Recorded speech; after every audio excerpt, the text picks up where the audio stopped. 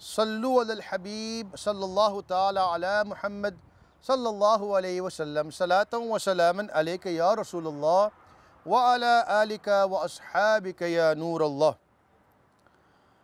सैदना अहमद बिन इसहाक रहमतुल्लाह ताला अलैह has said that his brother despite his poverty would perform the qurbani every year with the intention of pleasing Allah Azza wa Jal. After the demise of his brother, he rahmatullahi ta'ala alayh had a dream in which he saw that the judgment day had taken place and people came out of their graves. Meanwhile, he spotted his deceased brother who was riding a spotted horse, subhanallah, followed by many other horse riders.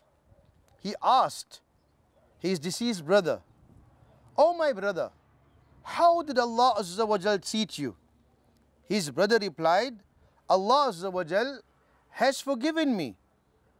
Sayyidina Ahmad bin Ishaq rahmatullahi ta'ala asked, Due to which deed?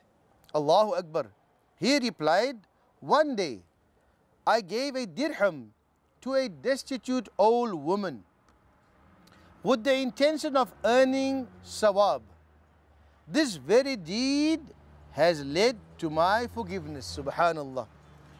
When asked about the horses, he replied, All these are the sacrifices I perform during Eid al-Adha.